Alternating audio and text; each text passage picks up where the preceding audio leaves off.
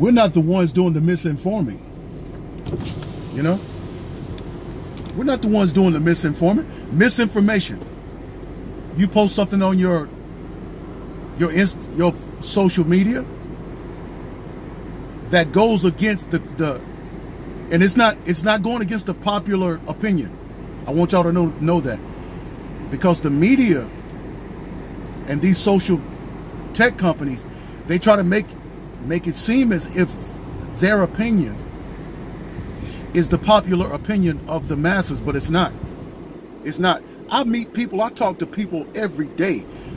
Lots of people. Okay? Just random folks. And they pretty much agree with everything that I say. Okay? Let's say let's say that big tech has the absolute truth. Let's say that they have the absolute truth, that they're enthroned on a holy throne, that they're never wrong. And this is what you'll notice about these people who who tag folk with misinformation. The left is never wrong. You never see a misinformation tag on a Democrat. That's a problem right there. That's, that should be a red flag for you Democrats out there who are watching them do this to us. You'll notice that, that, that no Democrat is ever wrong. That's a problem.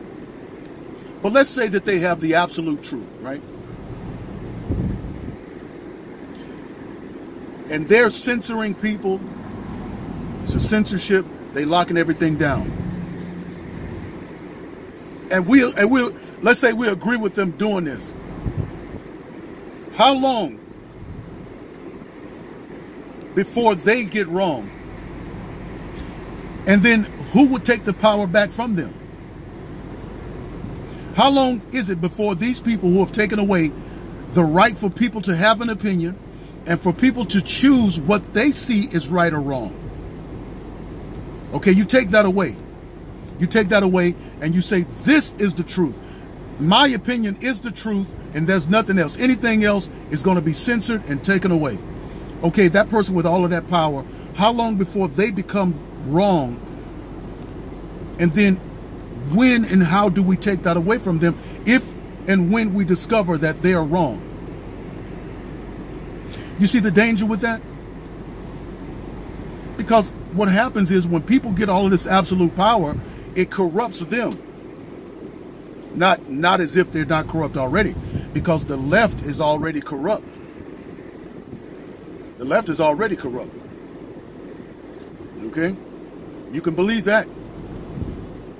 Anytime you say that there's 70 something genders and that a man can be a woman and a woman can be a man and that a child can get a sex change without their parents' permission and you get up and do a prayer and say a man and a woman, you're too perverted.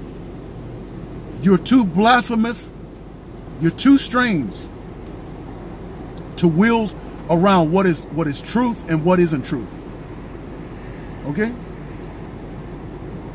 So the censorship, we're going to do something about that once I'm in Congress. I'm already working with some congressmen who are running some other con congressional candidates. And it may be about four of us that are going to win here in Arizona and go to, to the White to Washington. And we're already talking about some plans that we're going to do to take away this this censorship problem. Okay? We're going to put a stop to it. It's not right. You know, you get people on here. Listen, I don't. You have other religions that go on YouTube and they and they peddle their they push their doctrine or their religion. You just let other people choose what they want to do. If you want to worship the devil, you know, you got Satan worshipers on here. And we know Satan is a liar, right?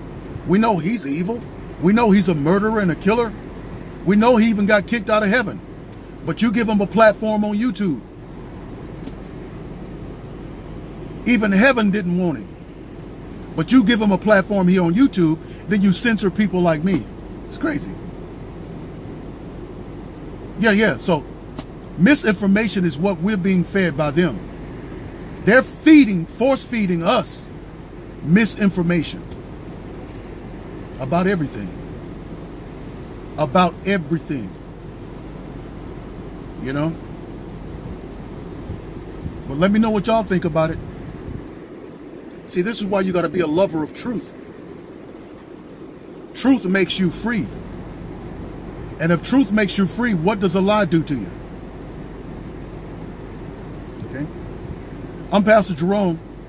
Don't forget to like, share, and subscribe to this channel. See you on the next one.